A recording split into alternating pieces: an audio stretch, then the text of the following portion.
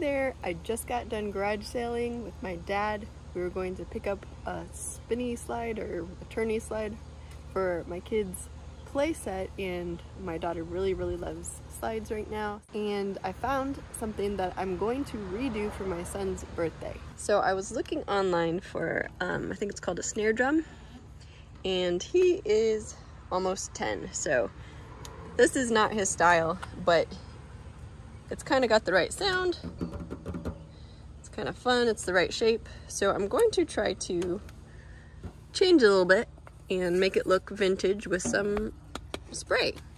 So we'll see what I can come up with and if it works. Otherwise, it wasn't very expensive as opposed to $30 brand new for something or up to $100 for a more serious instrument. But I thought that he might enjoy this if I could make it look a little bit more authentic for his uh, reenacting. So I'm gonna get to it. I think I'm gonna start with this to cover the clear part. What are you doing, buddy? Cody, what are you doing? What are you doing? You rolling around and stuff. This is my makeshift holder. See if it looks. Yeah, it's holding. Alrighty. So this part of it came off. I think that's okay though.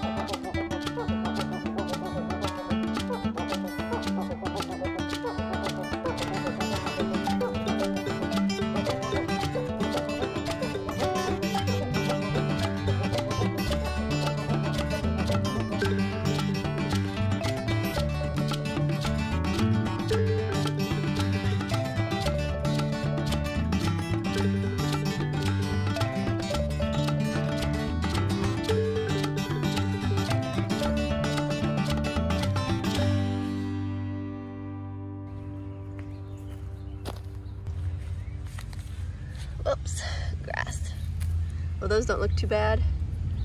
Kind of almost look like wood.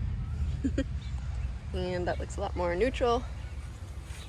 You might be able to see Mickey's face in there, but uh, we'll try to keep covering it up a little bit. And then I'll do some silver on some of these things.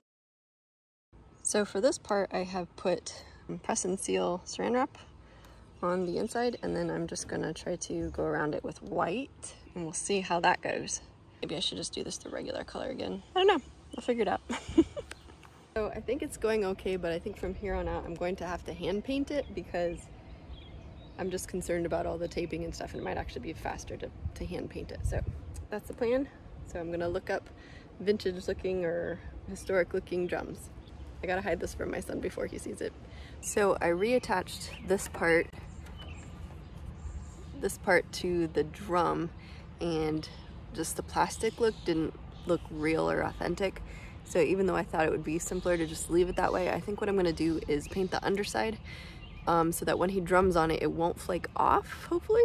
Um, maybe it will, because it's still, still flexing. But I'm going to try to do a mixture of white and tan to make it look kind of like stretched, aged um, leather. So we'll see how it goes, but I'm excited to get this surprise done for him. I want it to mainly be white with a little bit of tan, so so if I don't spray my pants.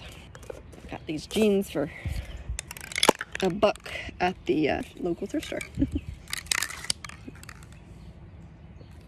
How does this go? Whoops. That's gonna be bad.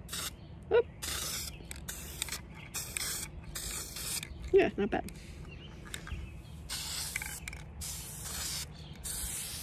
Not too heavy, but a little bit. Okay, and the rest is gonna be tan.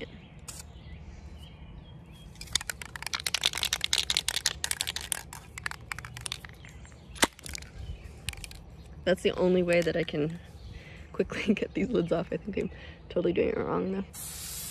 Now I'm gonna go inside and paint around the drum. I do wanna use metallic on a lot of the pieces, so I want it to last.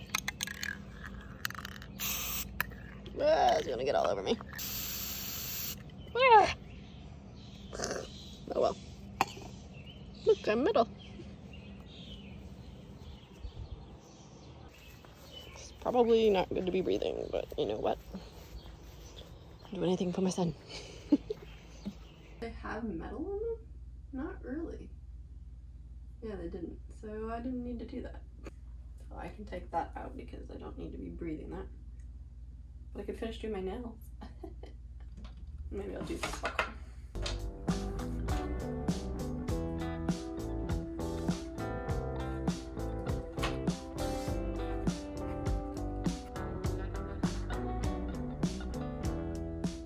I thought I'd show you really quick one of my son's attempts at making a Civil War or um, I don't know if this would have been Revolutionary War too, drum. He used part of an oatmeal canister and I think part of either an air mattress or a slip and slide or something. And it, it was a pretty good effort. Uh, the lid came off and the handle came off after some use. Actually, I think he had uh, the plastic on both sides. And I mean, it did sound like a drum, so I thought he did a good job, especially with all of the uh, tying and everything he tried to do to make make it look authentic. So it was fun to be able to make him something that he might feel was worthy for reenacting, looking realistic out of something I only paid $3 for instead of having to pay like $300 for, or something in that ballpark for Civil War era looking drum. Unfortunately, I did not, with the time constraints for his birthday, get that on video, uh, but this is what I did come up with and I'm pretty proud of it because, oh, like I said, I only paid $3 for it and um, yes, it is plastic, but it sounds pretty good. Um, let's see if I can get it going for you. Don't have my stand up here, my, what's it called, video stand. uh, oh well. So you put this over.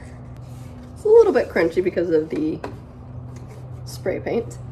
And I do need to touch this up a little bit. I've got more of the spray paint, so I will.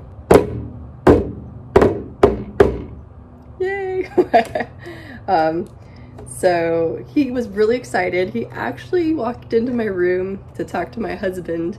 My husband didn't realize that he was kind of, you know, sitting right next to the surprise that I wasn't quite finished with. So unfortunately, it was not a surprise for his birthday, but he was very excited that this is what he was getting. And so um, I, it says 10th Regiment U.S. Infantry, and 10th because that's how old he turned. And I mean, you can kind of see where the Disney characters were, but I think it turned out pretty good.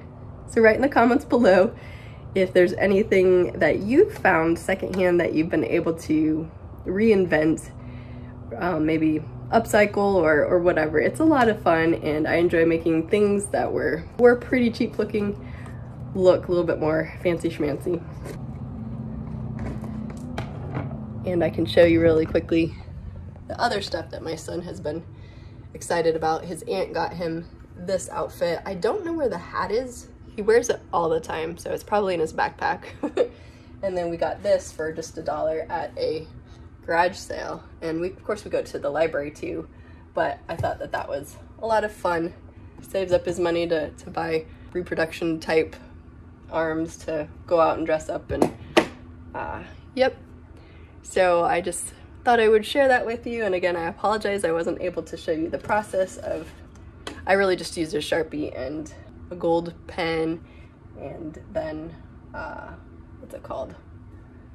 And then acrylic paint to, to come up with that design that was inspired by several of the images I saw on the computer to come up with something semi-historic looking. so if you enjoyed this video and seeing what kind of creative projects I'm up to for my family and friends, would you please give this video a like, subscribe if you haven't already and you want to see more content like this about intentional creative living, and also hit the notification bell somewhere. That way you'll know when the next video is up. I'm aiming to post a new video every weekend, Friday ideally. So I hope to see you in the next video. YouTube thinks you'd enjoy this video, and this is my most recent video. I'll see you in the next one. Bye.